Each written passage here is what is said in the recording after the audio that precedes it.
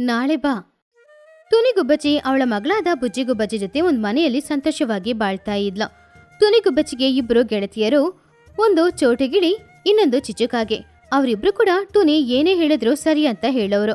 ಹೀಗಿರುವಾಗ ಆ ಊರಿನಲ್ಲಿ ಕೆಲವು ದಿನಗಳಿಂದ ಎಲ್ಲರೂ ಕಾಣೆಯಾಗ್ತಾ ಇದ್ರು. ಆದ್ರಿಂದ ಊರಿನವರು ಎಲ್ಲರೂ ಕೂಡ ತುಂಬಾನೇ ಹೆದರ್ತಾ ಇದ್ರು. ಏನಾಗ್ತಿದೆ ಏನೋ ಗೊತ್ತಿಲ್ಲದೆ ಯಾರು ಮನೆ ಬಿಟ್ಟು ಹೊರಗಡೆ ಕೂಡ ಬರ್ತಾ ಇರ್ಲಿಲ್ಲ. ಕೆಲವು ದಿನಗಳ ನಂತರ ಅಲ್ಲಿ ಎಲ್ಲಾನು ಸರಿಯಾಯ್ತು. ಎಲ್ಲರೂ ಕೂಡ ತುಂಬಾನೇ ಸಂತೋಷದಿಂದ ಅವ್ರವ್ರ ಪಾಡಿಗೆ ಅವ್ರವ್ರ ಕೆಲಸನ ಮಾಡಿಕೊಂಡು ಪ್ರಶಾಂತವಾಗಿ ಬಾಳ್ತಾ ಇದ್ರು. ಹೀಗಿರುವಾಗ ಪುನಃ ಆ ಊರಿನಲ್ಲಿ ಕೆಲವರು ಮೇಲೆ ಮೇಲೆ ಕಾಣೆಯಾಗ್ತಾ ಇದ್ರು. ಆ ದಿನ ತುನಿಗುಬ್ಬಚ್ಚಿ ಯಾವಾಗಲೂ ತರ ಬೆಳಿಗ್ಗೆನೆ ಎದ್ದು ಅಡಿಗೆ ಎಲ್ಲ ಮಾಡಿ ಬುಜ್ಜಿಗುಬ್ಬಚ್ಚಿನ ಶಾಲೆಗೆ ಕಳಿಸ್ಬಿಟ್ಲು. ಆವಾಗ ಚೋಟಿಗಿಳಿ ಹಾಗೂ ಚಿಚುಕಾಗೆ ಇಬ್ರು ಕೂಡ ತುನಿಗುಬ್ಬಚ್ಚಿಯ ಮನೆಗೆ ಬಂದ್ರು. ಏನೇ ಬೆಳಗಿನೇ ಬಂದಿದ್ದೀರಾ? ಏನ್ ವಿಷಯ? ಏನ್ ವಿಷಯನ? ಕುಹುಬಾತು ಕಾಣಿಸ್ತಿಲ್ಲ, ಗೊತ್ತಾ? ಹೌದು, ಪುನಃ ಎಲ್ರೂ ಕಾಣೆಯಾಗ್ತಾನೆ ಇದ್ದಾರೆ. ಏನು? ಪುನಃ ಕಾಣೆಯಾಗ್ತಾ ಇದ್ದಾರಾ? ನೆನೆ ತನಕ ಎಲ್ಲ ಸರಿ ಇತ್ತು? ಎಲ್ಲ ಸರಿಯಾಯ್ತು ಅಂತ ಅಂದ್ಕೊಂಡೆ? ಹಾ, ನಾವು ಅದೇ ರೀತಿ ಅನ್ಕೊಂಡಿದ್ದು ಪುನಃ ಊರಿನವರು ಎಲ್ರೂ ಕೂಡ ಮೀಟಿಂಗ್ ಹಾಕ್ಬೇಕು ಅಂತ ಇವಾಗ್ಲೇ ಮಹಿ ಹದ್ದು ಬಂದು ಹೇಳ್ಬಿಟ್ಟೋಯ್ತು. ಓ, ಹೌದಾ? ಸರಿ, ಹೋಗೋಣ. ಆದ್ರೆ ಎಲ್ರೂ ಕಾಣೆಯಾಗೋದಕ್ಕೆ ಕಾರಣ ಏನಾಗಿರ್ಬೋದು? ಏನಾಗಿರ್ಬೋದು? ಇದು ಖಂಡಿತ ಯಾವ್ದಾದ್ರೂ ದೆವ್ವದ ಕೆಲ್ಸನೇ ಇರ್ಬೋದು. ಹಾ, ಹೌದೌದು, ನಿಜಾನೇ. ಹಾಗೆ ಸ್ವಲ್ಪ ಸಮಯದಲ್ಲಿ ಎಲ್ರೂ ಪಂಚಾಯಿತಿಗೆ ಹೋದ್ರು. ಊರಿನವರು ಎಲ್ರು ಈಗಾಗ್ಲೇ ಪಂಚಾಯಿತಿಗೆ ಬಂದಿದ್ರು. ಆವಾಗ ಟುನಿ ಚೋಟು ಚಿಚೋ ಮೂ ಜನಾನು ಅಲ್ಲಿಗೆ ಹೋದ್ರು. ಊರಲ್ಲಿ ಪುನಃ ಕುಹುಬಾತು ಕಾಣಿಸ್ತಾ ಇಲ್ಲ. ಸ್ವಲ್ಪ ದಿನಗಳ ಮುಂಚೆ ನಮ್ಮೂರಲ್ಲಿ ಇದೇ ರೀತಿ ನಡೀತಾ ಇತ್ತು ಅಲ್ವಾ? ಹಾ, ಹೌದು. ಕೆಲವು ದಿನಗಳ ಮುಂಚೆ ಇದೇ ರೀತಿ ನಡೀತಾ ಇತ್ತು. ಎಲ್ಲಾನು ಸರಿ ಹೋಯ್ತು ಅಂತ ಅಂದ್ಕೊಂಡ್ರೆ ಪುನಃ ಇದೇ ರೀತಿ ನಡೀತಾ ಇದೆ ಅಲ್ವಾ? ಮೊದ್ಲು ಇದೆಲ್ಲದಕ್ಕೂ ಕಾರಣ ಏನಿರ್ಬೋದು ಅಂತ ಇದ್ದೀರಾ? ಬೇರೆ ಏನೋ ಇದೆಲ್ಲ ದೆವ್ವದ ಕೆಲ್ಸಾನೆ. ಕೆಲವು ದಿನಗಳ ಮುಂಚೆ ನಮ್ಮ ಊರಿನವ್ರನ್ನ ಎತ್ಕೊಂಡು ಹೋಗಿದ್ದು ಕೂಡ ಆ ದೆವ್ವದ ಕೆಲ್ಸಾನೆ. ಹಾ ಹೌದೌದು, ನಿಜಾನೆ. ಇವಾಗ ನಾವೆಲ್ಲರೂ ಜೋಪಾನವಾಗಿ ಇರಬೇಕು. ಮನೆ ಮುಂದ್ಗಡೆ ದೇವ್ರ ಹತ್ರ ಇಟ್ಟಿರುವ ಮಂತ್ರಿಸಿದ ನಿಂಬೆಹಣ್ಣನ್ನ ಕಟ್ಟಿಡಿ. ಆವಾಗ ಆ ದೆವ್ವ ಬರಲ್ಲ. ಹೌದೌದು, ಯಾರಾದರೂ ಏನಾದರೂ ಹೋಗಿ ಮಾಡಿ. ಹಾಗೆ ಎಲ್ಲರೂ ಒಂದೊಂದು ಹೇಳ್ತಾ ಇದ್ರು. ನಾವೆಲ್ರೂ ಮನೆಯೊಳಗಡೆ ಹೋಗಿ ಕೂತ್ಕೊಂಡ್ರು ಆ ದೆವ್ವ ಒಳಗಡೆ ಬಂದು ಸಾಯಿಸುತ್ತೆ ಅಲ್ವಾ? ಹೌದೌದು, ಅದಕ್ಕೆ ಹೇಳ್ತಾ ಇದ್ದೀನಿ. ಎಲ್ರೂ ಹೆದರ್ಬೇಡಿ. ಹೆದರಿದ್ರೆ ನಾ ಭಯನೇ. ಆ ದೆವ್ವಕ್ಕೆ ಬಲ ಆಗುತ್ತೆ. ಹೌದು, ಒಂದ್ ವೇಳೆ ಯಾರಿಗಾದ್ರೂ ಏನಾದ್ರೂ ಸಮಸ್ಯೆ ಅಂದ್ರೆ ಮೊದ್ಲು ಯಾರಿಗಾದ್ರೂ ನೀವು ಫೋನ್ ಮಾಡಿ. ಹಾಗೆ ಎಲ್ರೂ ಕೂಡ ಸುಮಾರು ಹೊತ್ತು ಏನ್ ಮಾಡೋದು ಅಂತ ಮಾತಾಡ್ಕೊಂಡು ಆಮೇಲೆ ಒಬ್ಬೊಬ್ರು ಒಂದೊಂದು ಹೇಳಿ ಅವ್ರರ ಮನೆಗೆ ವಾಪಸ್ ಹೋದ್ರು. ಹಾಗೆ ಆ ದಿನದಿಂದ ಯಾರು ಹೆದರ್ಲೇಬಾರ್ದು. ತುಂಬಾನೇ ಧೈರ್ಯದಿಂದ ಇರ್ಬೇಕು ಅಂತ ಅಂದ್ಕೊಂಡ್ರು. ದೇವಸ್ಥಾನಕ್ಕೆ ಹೋಗಿ ಮಂತ್ರಿಸಿದ ನಿಂಬೆಹಣ್ಣು, ಕುಂಕುಮ ಎಲ್ಲಾನು ಮನೇಲಿಟ್ಕೊಂಡ್ರು ಹೀಗೆ ದಿನಗಳು ಹೋಗ್ತಾ ಇತ್ತು. ಆ ದಿನ ರಾತ್ರಿ ಸಮಯ ಎಲ್ರೂ ಮಕ್ಕಳನ್ನ ಕರ್ಕೊಂಡು ಮನೆಯೊಳಗಡೆ ಹೋಗ್ಬಿಟ್ರು. ಆವಾಗ ದೆವ್ವ ಊರಿನೊಳಗಡೆ ಬಂತು. ಹೊರಗಡೆ ಯಾರು ಇಲ್ಲ ಅನ್ನೋದ್ರಿಂದ ದೆವ್ವ ಅಲ್ಲೇ ಇದ್ದ ಮಹಿಹದಿನ ಮನೆ ಬಾಗಿಲನ್ನ ತಟ್ತಿತ್ತು. ಮಹಿಹದ್ದು ಇನ್ನೂ ಅಷ್ಟೇನು ರಾತ್ರಿ ಸಮಯ ಆಗಿಲ್ವಲ್ಲ? ದೆವ್ವ ಬಂದಿರಲ್ಲ? ಸಹಾಯ ಕೇಳಕ್ಕೆ ಯಾರಾದ್ರೂ ಬಂದಿರ್ಬೋದೋ ಏನೋ ಅಂತ ಮನ್ಸಲ್ಲಿ ಅಂದ್ಕೊಳ್ತು. ಯಾರದೋ? ಎಲ್ಲಿಗೆ ಯಾಕೆ ಬಂದಿರೋದು? ಕಾಪಾಡಿ. ದಯವಿಟ್ಟು ನನ್ನ ಕಾಪಾಡಿ. ಅಯ್ಯಯ್ಯೋ, ಯಾರಮ್ಮ ನೀನು? ಮನೆಯೊಳಗಡೆ ಇದ್ದಿರ್ಬೋದಲ್ಲ? ಯಾಕಮ್ಮ ಹೊರಗಡೆ ಬಂದೆ? ಅದು ಬರ್ತಾ ಇದೆ. ದಯವಿಟ್ಟು ನನ್ನನ್ನು ಕಾಪಾಡಿ. ದಯವಿಟ್ಟು ನನ್ನನ್ನು ಕಾಪಾಡಿ. ಹಾಗೆ ದಿವ್ವ ಹುಡುಗಿಯ ಧ್ವನಿಯಲ್ಲಿ ಮಾತಾಡಿದಾಗ ನಿಜವಾಗ್ಲೂ ಯಾರೋ ಅಪಾಯದಲ್ಲಿದ್ದಾರೆ ಅಂತ ಅಂದ್ಕೊಂಡು ಮಹಿಹದ್ದು ಅವ್ರಿಗೆ ಸಹಾಯ ಮಾಡಬೇಕು ಅಂತ ಮೊದಲು ತುನಿಗುಬ್ಬಚ್ಚಿಗೆ ಕಾಲ್ ಮಾಡಿ ವಿಷಯನ ಹೇಳಿ ಆಮೇಲೆ ಧೈರ್ಯ ಮಾಡ್ಕೊಂಡು ಬಾಗಿಲು ಓಪನ್ ಮಾಡಿ ಹೊರಗಡೆ ಬಂತು. ಹೊರಗಡೆ ಬಂದಾಗ ದೆವ್ವ ಇತ್ತು ಆ ದೆವ್ವ ತಕ್ಷಣ ಮಹಿ ಹದ್ದನ್ನ ಎತ್ಕೊಂಡು ಹೋಗ್ಬಿಡ್ತು. ಸ್ವಲ್ಪ ಸಮಯದಲ್ಲಿ ಅಲ್ಲಿಗೆ ತುನಿಗುಬ್ಬಚ್ಚಿ ಚೋಟಿಗಿಡಿ, ಲೂಸಿ ಪಾರಿವಾಳ ಚಿಚುಕಾಗೆ ಎಲ್ರೂ ಕೂಡ ಬಂದ್ರು. ಆದ್ರೆ ಅಲ್ಲಿ ಮಹಿಹದ್ದು ಇಲ್ಲ. ಮಹಿಹದ್ದಿನ ಮನೆ ಬಾಗಿಲು ಮಾತ್ರ ಓಪನ್ ಆಗಿರೋದನ್ನ ನೋಡಿ ಮಹಿಹದ್ದಿಗೆ ಏನಾಯ್ತೋ ಏನೋ ಅಂತ ಎಲ್ರೂ ಬೇಜಾರ್ ಮಾಡ್ಕೊಂಡ್ರು. ಇವಾಗ ತಾನೇ ಫೋನ್ ಮಾಡಿದ್ರು? ಅಷ್ಟ್ ಬೇಗ ಎಲ್ಲಿಗೋದ್ರು ಏನೋ ಮಹಿಹದ್ದಿಗೆ ಏನಾಯ್ತೋ ಏನೋ ಹೌದೌದು ಬನ್ನಿ, ಎಲ್ರೂ ಹೋಗಿ ಮಹಿಹದ್ದು ಎಲ್ಲಿದೆ ಅಂತ ಹುಡ್ಕೋಣ. ಹಾಗೆ ಎಲ್ರೂ ಸೇರಿ ಮಹಿಹದ್ದನ್ನ ಹುಡುಕ್ತಾ ಇದ್ರು, ಆದ್ರೆ ಮಹಿಹದ್ದು ಎಲ್ಲಿ ಹೋಯ್ತು ಅಂತನೋ ಅವರಿಗೆ ಗೊತ್ತಾಗ್ಲಿಲ್ಲ. ಎಲ್ರೂ ತುಂಬಾನೇ ಬೇಜಾರ್ ಮಾಡ್ಕೊಂಡ್ರು. ಮಹಿಹದ್ದು ವಾಪಸ್ ಬರುತ್ತೋ ಏನೋ ಅಂತ ಅಲ್ಲೇ ಕೂತ್ಕೊಂಡು ಕಾಯ್ತಾ ಇದ್ರು. ಆದ್ರೆ ಮರುದಿನ ಬೆಳಗಾಯಿತು. ಇದು ಸರಿ ಬರಲ್ಲ. ನಾವೇನಾದ್ರೂ ಒಂದು ನಿರ್ಧಾರ ಮಾಡ್ಲೇಬೇಕು. ಹೌದು, ಪ್ರತಿದಿನ ಹೀಗೆ ಒಬ್ಬೊಬ್ರು ಸತ್ತೋದ್ರೆ ಹೇಗೆ ಹೇಳು? ಹೀಗಾದ್ರೆ ಊರಲ್ಲಿ ಇನ್ನೂ ಯಾರಿಂದ ನಿರಕ್ಕಾಗಲ್ಲ ಹೌದೌದು ನಾನು ಪುನಃ ಹೋಗಿ ಎಲ್ಲನ್ನ ಪಂಚಾಯತಿಗೆ ಬರಕ್ಕೆ ಹೇಳ್ತೀನಿ ಸ್ವಲ್ಪ ಸಮಯದಲ್ಲಿ ನೀವು ಕೂಡ ಅಲ್ಲಿಗೆ ಬಂದ್ಬಿಡಿ. ಎಲ್ರೂ ಮನೆಗ್ ಬಂದು ರೆಡಿಯಾಗಿ ಸ್ವಲ್ಪ ಊಟನ ಮಾಡಿ ಆಮೇಲೆ ಪಂಚಾಯತಿಗೆ ಹೋದ್ರು. ಯಾರ್ಗೆ ಏನ್ ಹೇಳೋದು ಅಂತ ಅರ್ಥ ಆಗದೆ ಎಲ್ರೂ ಸುಮ್ಮನೆ ನಿಂತ್ಕೊಂಡಿದ್ರು. ನಿಮ್ಮಲ್ಲಿ ಯಾರಾದ್ರೂ ಒಬ್ರಿಗೆ, ಆ ದೆವ್ವ ನಮ್ಮ ಹತ್ರ ಬರದೇ ಇರೋದಕ್ಕೆ ಏನಾದ್ರೂ ಮಾಡ್ಬೇಕನ್ನುವ ಯೋಚನೆ ಇದೆಯಾ? ಎಲ್ರು ಅವ್ರವ್ರ್ ಗೊತ್ತಿರೋದನ್ನ ಮಾಡಿದೀವಿ ಆದ್ರೆ ಏನ್ ಮಾಡೋದು? ನಿನ್ನೆ ಮಹಿ ಹದ್ದು, ಇವತ್ತೋ ಯಾರೋ ಆ ದೆವ್ವದ ಕೈಯಲ್ಲಿ ಸಿಕ್ಕಾಕೊಳ್ಳೋದು. ಯಾರೂ ನಿರಾಶೆ ಪಡ್ಬೇಡಿ. ನಮ್ ಪ್ರಾಣನ ನಾವೇ ತಾನೇ ಕಾಪಾಡ್ಕೋಬೇಕು. ಹಾಗೆ ಒಬ್ರಿಗೊಬ್ರು ಎಲ್ರೂ ಧೈರ್ಯ ಕೊಡ್ತಾ ಇದ್ರು. ತುನಿಗೊಬ್ಬಚ್ಚಿ ಮಾತ್ರ ಏನ್ ಮಾಡುದು ಅಂತ ಯೋಚನೆ ಮಾಡ್ತಾ ಇದ್ಲು. ಆವಾಗ ಅವಳಿಗೊಂದು ಯೋಚನೆನೂ ಬಂತು. ನಮ್ ತಾತನ ಕಾಲದಲ್ಲಿ ಊರಿಗೆ ದೆವ್ವ ಬಂದಾಗ ಅವರು ಮನೆಯಲ್ಲಿ, ಬಾಗಿಲಲ್ಲಿ, ಓ ಸ್ತ್ರೀ, ನಾಳೆ ಬಾ ಅಂತ ಬರ್ದಿಡ್ತಾರೆ ಅಂತೆ. ಅದನ್ನ ನೋಡಿ ಆ ದೆವ್ವ ನಾಳೆ ಬರ್ತೀನಿ ಅಂತ ಹೋಗುತ್ತೆ ಅಂತೆ. ನಾವು ಕೂಡ ಯಾಕೆ ಆ ರೀತಿ ಮಾಡಬಾರ್ದು? ಅರೆ, ಬಾಗಿಲಲ್ಲಿ ನಿಂಬೆಹಣ್ಣು ಕಟ್ಟೋದ್ರೂ ಕೂಡ ದೆವ್ವ ಹೆದರ್ತಾ ಇಲ್ಲ. ಆದರೆ ಬರ್ದಿರೋದನ್ನ ನೋಡಿ ಹೇಗೆ ಹೆದರುತ್ತೆ? ಹೆದರುತ್ತೋ ಇಲ್ವೋ? ಅದು ಆಮೇಲೆ ವಿಷಯ. ಮೊದಲು ಇದನ್ನು ಮಾಡಿದ್ರಲ್ಲಿ ನಷ್ಟ ಏನಿಲ್ವಲ್ಲ ಹೌದು, ಎಷ್ಟೋ ಮಾಡಿ ಆಯ್ತು. ಇದನ್ನ ಒಂದ್ಸಲ ಮಾಡಿ ನೋಡಿದ್ರೆ ಹೋಯ್ತು. ಹಾಗಂತ ಟೊನಿಗೆ ಪಚ್ಚಿ ಹೇಳಿದ್ದಕ್ಕೆ ಎಲ್ಲರೂ ಸರಿ ಅಂತ ಒಪ್ಕೊಂಡ್ರು. ಆದ್ರೆ ಲೂಸಿ ಪಾರಿವಾಳಕ್ಕೆ ಮಾತ್ರ ಅದರಲ್ಲಿ ನಂಬಿಕೆನೇ ಇರಲಿಲ್ಲ. ಹಾಗೆ ಎಲ್ಲರೂ ಇದೇ ಮಾಡೋಣ ಅಂತ ಅಂದ್ಕೊಂಡು ಮನೆಗೆ ಹೋದ್ರು. ಲೂಸಿ ಪಾರಿವಾಳ ಮಾತ್ರ ಇದಕ್ಕೆ ನಂಬಿಕೆ ಇಲ್ಲದೆ ಆ ಥರ ಮಾಡೋದಿಲ್ಲ ಅಂತ ಅಂದ್ಕೊಂಡು ಯಾರಾದರೂ ಸಹಾಯ ಅಂತ ಕರೆದ್ರು ಕೂಡ ನಾವು ಹೊರಗಡೆ ಬರಬಾರ್ದು ಅಂತ ಅಂದ್ಕೊಂಡ್ಲು. ಹೀಗಿರುವಾಗ ಚಿಚುಕಾಗಿ ಅವಳ ಮನೆಗೆ ಹೋಗಿ ಅವಳ ಮನೆ ಬಾಗಿಲಲ್ಲಿ, ಓ ಸ್ತ್ರೀ, ನಾಳೆ ಬಾ ಅಂತ ಬರದ್ಲು. ಅದೇ ರೀತಿ ತುನಿಗುಬ್ಬಚ್ಚಿ ಕೂಡ ಬರ್ದಿಟ್ಲು. ಅದನ್ನ ಬುಜ್ಜಿಗುಬ್ಬಚ್ಚಿ ನೋಡಿದ್ಲು. ಹ್ಮ್, ಅಮ್ಮ, ಹೀಗೆ ಬರ್ದಿಟ್ರೆ ಏನಾಗುತ್ತೆ? ನಿನಗೆ ಹೇಗೆ ಹೇಳೋದು? ಆ, ಇವತ್ತು ನಮ್ಮ ಮನೆಗೆ ಯಾರಾದ್ರೂ ಬಂದ್ರೆ ಇದರಲ್ಲಿ ಏನ್ ಬರ್ದಿದೆ? ನಾಳೆ ಬಾ ಅಂತ. ಅದನ್ನ ಓದಿ ಅವ್ರು ಇವತ್ತು ಬರದೆ ನಾಳೆ ಬರೋಣ ಅಂತ ಹೋಗ್ತಾರೆ. ನಾಳೆ ಬಂದ್ರು ಇದು ಹೀಗೇನೆ ಇರುತ್ತೆ. ಪುನಃ ನಾಳೆ ಬರೋಣ ನಾಳೆ ಬರೋಣ ಅಂತ ಬರದೇ ಇಲ್ಲ. ಹಾ, ಅಮ್ಮ, ಇದು ಒಳ್ಳೆ ಯೋಚನೆನೇ. ಅದೇ ರೀತಿ ಚಿಚುಕಾಗಿ ಚೌಟಿಗಿಡಿ ಕೂಡ ಬರ್ದಿಟ್ರು. ಹೀಗಿರುವಾಗ ಆ ದಿನ ರಾತ್ರಿಯ ಸಮಯ ಎಲ್ಲರೂ ಹೆದರ್ಕೊಂಡು ಮನೆಯೊಳಗಡೆ ಇದ್ದಾಗ ಆ ದೆವ್ವ ಮೇಲೆ ಟುನಿಗುಬ್ಬಚ್ಚಿಯ ಮನೆಗೆ ಬಂತು.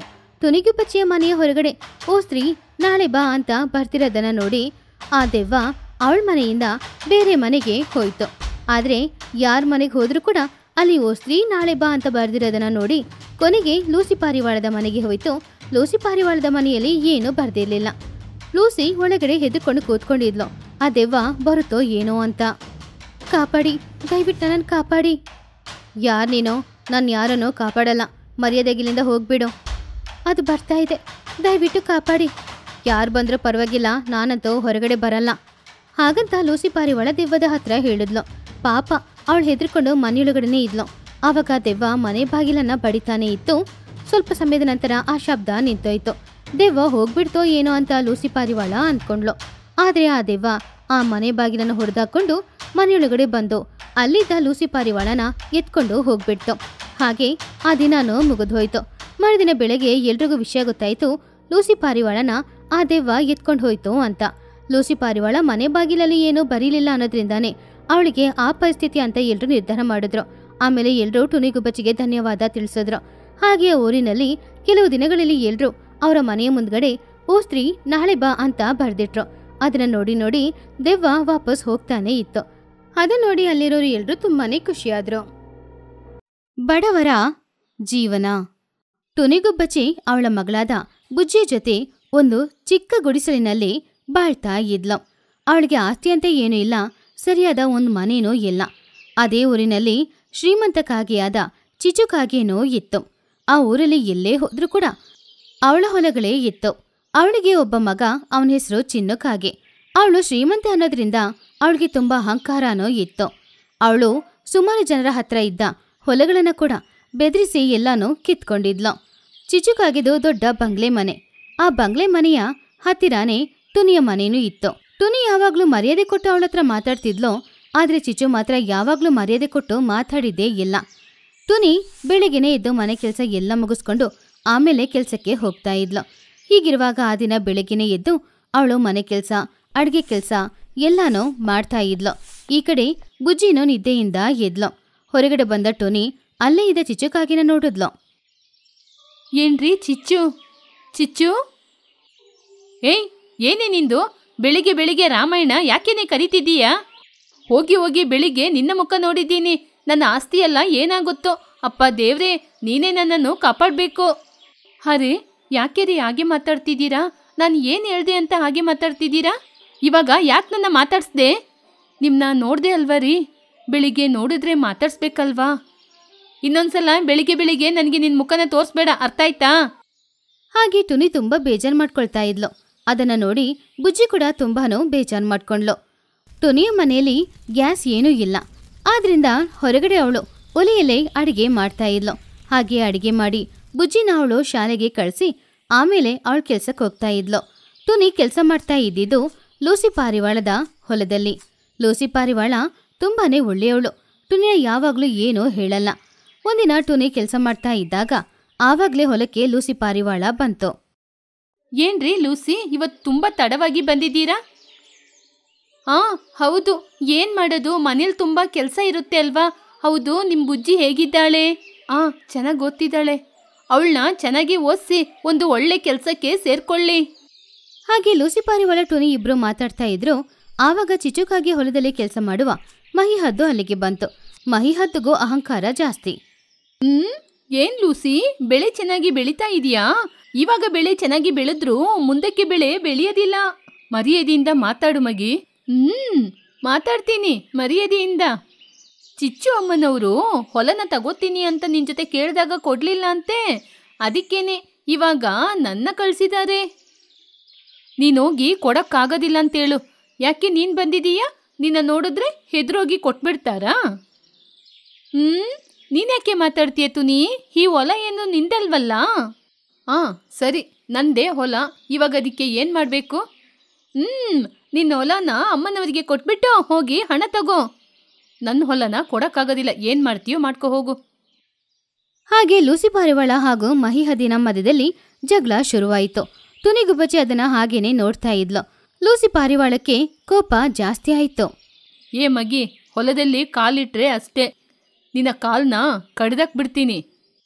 ಹ್ಮ್, ಚಿಚ್ಚು ಅಮ್ಮನವ್ರ ಜೊತೆ ಹೋಗಿ ಹೇಳ್ತೀನಿ ಇರು. ಇದು, ಈ ತುನಿಗೆ ಕೂಡ ನಾನು ಹೋಗಿ ಹೇಳ್ಕೊಡ್ತೀನಿ.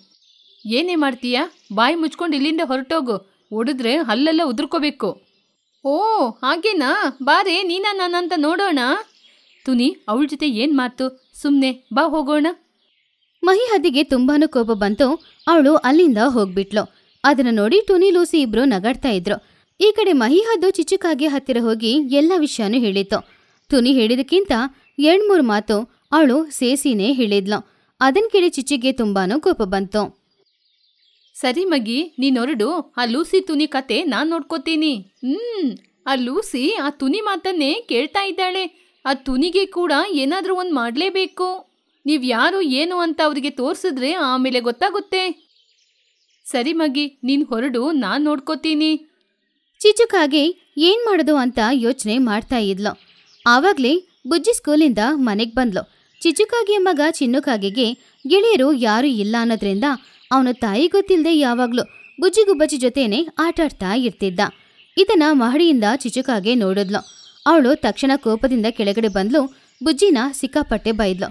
ಪಾಪ ಬುಜ್ಜಿ ಜೋರಾಗಿ ಅಳ್ತಾ ಇದ್ಲು. ಆವಾಗ ಅಲ್ಲಿಗೆ ತುನಿಗುಬ್ಬಚ್ಚಿ ಬಂದ್ಲು. ಏನಾಯ್ತು? ಯಾಕೆ ಬುಜ್ಜಿ ಅಳ್ತಾ ಇದ್ದೀಯಾ? ಆ ಚಿಚ್ಚು ಆಂಟಿ ಬೈತಾ ಇದ್ದಾರೆ. ಯಾರೇ ನಿನ್ಗೆ ಆಂಟಿ? ನಾವ್ಯಾರು? ನೀವ್ಯಾರು? ನನ್ನ ಮಗನ ಜೊತೆ ನೀವೆಲ್ಲ ಆಟಾಡೋಕ್ಕೆ ಸರಿ ಸಮಾನ ನಿಮ್ಮ ಮಗನ್ನ ಮನೆಯೊಳಗೆ ಆಟಾಡ್ಕೊಳ್ಳೋಕ್ಕೆ ಬಿಡಬೇಕು. ಯಾಕೆ ಹೊರಗಡೆ ಕಳಿಸ್ತಾ ಇದ್ದೀರಾ?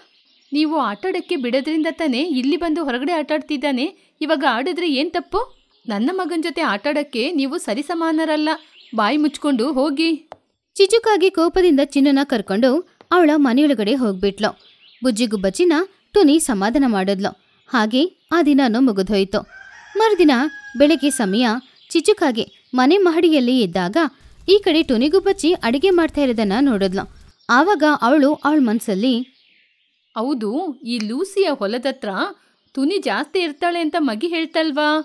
ಅವಳ ಜೊತೆ ಮಾತಾಡಿ ಹೇಗೋ ಲೂಸಿಯ ಹೊಲವನ್ನು ನಾನೇ ತಗೋಬೇಕು. ನಿನ್ನೆ ಬೈದೆ ಅಂತ ನನ್ನ ಜೊತೆನೇ ದುರಂಕರನ್ನ ತೋರಿಸ್ತಾ ಇದೀಯಾ? ಇದಕ್ಕೆ ಎಲ್ಲಿಂದ ಬಂತು ಧೈರ್ಯ? ಹಾಗಂತ ಅಂದ್ಕೊಂಡ್ಲು. ಏ ಲೂಸಿ ಏನೇ ಮಾಡ್ತಿದೀಯಾ ಬಾ ಇಲ್ಲಿ ಸ್ವಲ್ಪ ಮಾತಾಡಬೇಕು. ನನಗೆ ಕೆಲಸ ಇದೆ ಇವಾಗ ಬರಲಿಕ್ಕಾಗಲ್ಲ. ನಿನ್ನೆ ನಡೆದ ವಿಚಾರನ ಮನಸ್ಸಲ್ಲಿ ಇಟ್ಕೋಬೇಡ ಬೇಗ ಬಾ. ಆ ಇವಾಗ ಬರ್ತೀನಿ. ಹಾಗೆ ತುನಿಗುಬ್ಬಜಿ ಚಿಚುಕಾಗಿಯ ಮನೆಗೆ ಬಂದಾಗ ಚಿಚು ಟುನಿ ಹತ್ರ ಹೇಗಾದರೂ ಲೂಸಿ ಪಾರಿವಾಳದ ಹೊಲದ ಬಗ್ಗೆ ಕೇಳ್ಬೇಕಂತ ಅಂದ್ಕೊಂಡ್ಲು. ಏನೇ ತುನಿ ನಿನ್ನ ಲೂಸಿ ಹೇಗಿದ್ದಾಳೆ? ಹೌದು ಯಾಕೆನೆ ಅವಳಿಗೆ ಆ ಹೊಲ? ನನಗೆ ಕೊಡ್ಬೋದಲ್ವಾ? ಹೌದು, ಅವರಿಗೆ ಯಾಕೆ ಹೊಲ ಅಂತ ಕೇಳ್ತೀರಲ್ಲ? ನಿಮಗೆ ಯಾಕೆ ಎಲ್ಲರ ಹೊಲ? ಹಾಗಲ್ಲ ನನ್ನ ಜೊತೆ ಹಣ ಇದೆ. ನನಗೆ ಈ ಹೊಲ ಎಲ್ಲ ಬೇಕು. ನೀನೊಂದ್ಸಲ ಲೂಸಿ ಜೊತೆ ಮಾತಾಡಿ ಹೊಲನ ನನಗೆ ಕೊಡಕ್ಕೆ ಕೇಳು. ಅದೇನು? ನನ್ನ ಹೊಲನ? ಏನ್ರಿ ನಾನು ಹೇಳಿದ ತಕ್ಷಣ ಕೊಡಲಿಕ್ಕೆ? ಆ, ಅದು ನಿನ್ನ ಮಾತು ಕೇಳುತ್ತೆ ಅಂತ ನಂಗೆ ಚೆನ್ನಾಗಿ ಗೊತ್ತು. ಕೊಡಲಿಕ್ಕೆ ಹೇಳು. ಹೌದು, ನಿಮಗೆ ಯಾಕೆ ರೀ ಇಷ್ಟೊಂದು ಹೊಲ? ಹೋಗುವಾಗ ತಗೊಂಡೋಗ್ತೀರಾ? ಇನ್ಮುಂದೆ ಇದ್ರ ಬಗ್ಗೆ ನನ್ನ ಜೊತೆ ಕೇಳಬೇಡಿ. ಹಾಗೆ ತುನಿಗುಬ್ಬಚ್ಚಿ ಕೋಪದಿಂದ ಹೇಳಿ ಹೋದ್ಲು. ಅದನ್ನು ಕೇಳಿ ಚಿಚುಕಾಗೆಗೆ ತುನಿ ಮೇಲೆ ಕೋಪ ಇನ್ನೂ ಹೆಚ್ಚಾಯಿತು. ಆವಾಗ ಟುನಿ ಬುಜ್ಜಿ ಇಬ್ರು ಮನೆ ಹೊರಗಡೆ ಒಲೆಯಲ್ಲಿ ಕೆಲಸ ಮಾಡ್ತಾ ಇದ್ದಾಗ ಅದನ್ನು ನೋಡಿದ ಚಿಚುಕಾಗೆ ತಕ್ಷಣ ಮನೆ ಮಹಡಿಗೆ ಹೋಗಿ ಮೇಲಿಂದ ನೀರನ್ನ ಹುಯ್ದ್ಲು. ಏನ್ರಿ ಹಾಗೆ ಮಾಡ್ಬಿಟ್ರಿ? ನನ್ನ ಬುಜ್ಜಿಗೆ ಹಸಿವಾಗ್ತಾ ಇದೆ. ಅದಕ್ಕೇನೆ ಒಲೆನ ಕಸ್ಸಿ ಅಡಿಗೆ ಮಾಡ್ತಿರೋದು. ಏಯ್, ಅಡುಗೆ ಬೇಕಾದ್ರೆ ಮಾಡ್ಕೊಳ್ಳಿ ಇಲ್ಲಿ ಮಾಡಬಾರ್ದು. ಒಳಗೋಗಿ ಮಾಡ್ಕೊಳ್ಳಿ ನನ್ನ ಕಣ್ಮುಂದೆ ಸಿಗ್ಲೇಬಾರ್ದು. ಹಾಗೆ ಹೇಳಿದ್ರೆ ಹೇಗೆ ರೀ? ಮನೆಯೊಳಗೆ ಹೇಗೆ ಅಡುಗೆ ಮಾಡೋದು? ಹೊಗೆ ಬರುತ್ತೆ. ಆ ಆ ಹೊಗೆ ನನ್ನ ಹತ್ರ ಬರ್ತಿದೆ ಇನ್ನು ಮುಂದೆ ಬರಲೇಬಾರ್ದು ಚಿಚುಕಾಗೆ ಅಲ್ಲಿಂದ ಹೋಗ್ಬಿಟ್ಲು. ಪಾಪ ಟುನಿ ಮಾತ್ರ ತುಂಬಾನು ಬೇಜಾರು ಮಾಡ್ಕೊಳ್ತಾ ಇದ್ಲು.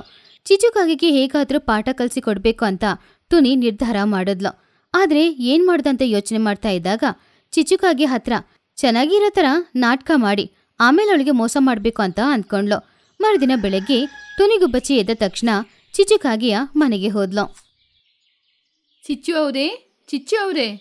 ಆ, ಏನು, ನನ್ನ ಹೊಡ್ಕೊಂಡು ಬಂದಿದೀಯಾ ಏನು ವಿಷಯ?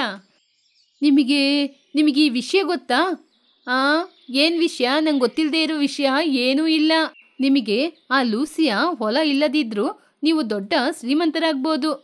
ಆ, ಹೌದಾ? ಏನದು? ಅದು ಆನ್ಲೈನ್ ಬೆಟ್ಟಿಂಗ್ ರೀ ಹತ್ತು ರೂಪಾಯಿ ಹಾಕಿದ್ರೆ ಐವತ್ತು ರೂಪಾಯಿ ಬರುತ್ತೆ. ಅಯ್ಯೋ ಮೊದಲೇ ಹೇಳದಲ್ವಾ? ಇಷ್ಟೊತ್ತಿಗೆ ಎಷ್ಟು ಹಣನ ನಾನು ಸಂಪಾದನೆ ಮಾಡಿರ್ತೀನಿ. ಬೆಟ್ಟಿಂಗ್ ಕಟ್ಟೋದು ತಪ್ಪು ಅನ್ನೋದು ತುನಿಗುಬ್ಬಚ್ಚಿಗೆ ಚೆನ್ನಾಗಿ ಗೊತ್ತು. ಆದರೆ ಚಿಚುಕಾಗಿ ಇರುವ ಅಹಂಕಾರ ಹೋಗಬೇಕಂದ್ರೆ ಅವಳ ಆಸ್ತಿಗಳನ್ನೆಲ್ಲ ಅವಳು ಕಳ್ಕೊಂಡ್ರೇ ಅವಳಿಗೆ ಬುದ್ಧಿ ಬರೋದು ಅಂತ ಅಂದ್ಕೊಂಡೆ. ತುನಿಗುಬ್ಬಜಿ ಚಿಚುಕಾಗಿ ಹತ್ರ ಆ ಬೆಟ್ಟಿಂಗ್ ವಿಷಯನ ಹೇಳಿದ್ಲು. ಏನ್ರಿ? ಬೆಟ್ಟಿಂಗಲ್ಲಿ ಅಧಿಕ ದುಡ್ಡನ್ನ ಇಡಬೇಡಿ, ಕಡಿಮೆ ದುಡ್ಡನ್ನ ಇಡಿ. ಆಂ ಸರಿ ಸರಿ, ನನಗೆ ಗೊತ್ತು. ಮೊದಲು ಇಲ್ಲಿಂದ ಹೊರಟೋಗು. ಆ, ಎಲ್ಲರೂ ಹೇಳ್ತಿದ್ದಾರೆ ಅಂತ ಹೇಳಿದೆ. ಆಮೇಲೆ ನಿಮ್ಮ ತೀರ್ಮಾನ ಕಣ್ರಿ. ಆ, ನನ್ನ ದುಡ್ಡನ್ನ ನನಗೆ ಇಷ್ಟ ಇರುವ ಹಾಗೆ ನಾನು ಖರ್ಚು ಮಾಡ್ತೀನಿ, ಹೋಗಿ ಇಲ್ಲಿಂದ. ಹಾಗೆ ಬಚ್ಚಿ ಅವಳ ಮನೆಗೆ ಹೋದ್ಲು. ಚಿಚುಕಾಗೆ ಬೆಟ್ಟಿಂಗ್ ಆಡ್ತಾ ಇದ್ಲು. ಹಣ ಬಂತು. ಎರಡು ದಿನ ತನಕ ಹಣ ಬರ್ತಾನೆ ಇತ್ತು. ಅಯ್ಯೋ ಹಣ ಇದ್ರಲ್ಲಿ ನನಗೆ ಜಾಸ್ತಿ ಬರ್ತಾ ಇದೆ. ಈ ಹಣದಲ್ಲಿ ಈ ಊರ್ನೇ ತಗೋತೀನಿ. ಚಿಚುಕಾಗಿ ತುಂಬಾನೇ ಸಂತೋಷಪಟ್ಟಿತು ಆದ್ರೆ ಅಹಂಕಾರ ಜಾಸ್ತಿಯಾಗಿ ಇನ್ನೂ ಸುಮಾರು ಹಣ ಸಂಪಾದನೆ ಮಾಡ್ಬೇಕು ಅನ್ನೋ ಆಸೆಯಲ್ಲಿ ಅದ್ರ ಹತ್ರ ಇದ್ದ ಎಲ್ಲ ಆಸ್ತಿ ಪಾಸ್ತಿ ಹಣ ಎಲ್ಲಾನು ಇಟ್ಟು ಬೆಟ್ಟಿಂಗ್ ಆಡ್ತಾ ಇದ್ಲು. ಕೊನೆಗೆ ಅವಳು ಎಲ್ಲಾನು ಸೋತೋದ್ಲು. ಏನ್ ಮಾಡೋದು ಅಂತ ಗೊತ್ತಿಲ್ಲದೆ ಅವಳು ಟುನಿಗುಬ್ಬಚ್ಚಿನ ನೋಡಕ್ಕೆ ಹೋದ್ಲು. ಏನ್ರಿ ಇಲ್ಲಿಗೆ ಬಂದಿದ್ದೀರಾ? ಬೆಟ್ಟಿಂಗ್ ಇಟ್ಟೆ ನನ್ನ ಎಲ್ಲ ಹಣವನ್ನು ಕಳ್ಕೊಂಡೆ. ದುಡ್ಡನ್ನ ಯಾಕೆ ರೀ ಅಷ್ಟು ಹಾಕಿದ್ದೀರಾ ನಾನು ಮೊದಲೇ ನಿಮಗೆ ಹೇಳಿದ್ದೀನಿ ತಾನೆ. ಏನೋ ಐವತ್ತು ನೂರು ಅಂತ ಕಟ್ಬೋದು, ಆದರೆ ಇಷ್ಟೊಂದು ಹಣ ಯಾರು ಕಟ್ಟೋದು? ಹೌದು, ಈ ವಿಷಯನ ನನ್ನ ಜೊತೆ ಹೇಳಿದ್ರೆ ನಾನೇನ್ರಿ ಮಾಡೋದು? ಉಂಗಗಿಟ್ಟ ಕಾಸು ಇರ್ಕೊಂಬೋದು, ಎವಳ ತಿಮಿರ ಆಟಂ ಇವಾಗ ಏನು ಮಾತಾಡ್ತಿದ್ದೀರಾ ಅಂತ ನೋಡಿದ್ರಾ? ಅದೇ ಕಣ್ರಿ, ಹಣ ಒಬ್ಬ ಮನುಷ್ಯನ ಹೇಗೆ ಬದಲಾಯಿಸುತ್ತೆ ಅಂತ. ಇವಾಗಾದರೂ ಅತಿಯಾಸೆ ಪಡೆದೇ ಇರೋ ಹಣದಲ್ಲಿ ನಿಮ್ಮ ಮಗನ್ನ ಓದಿಸಿ.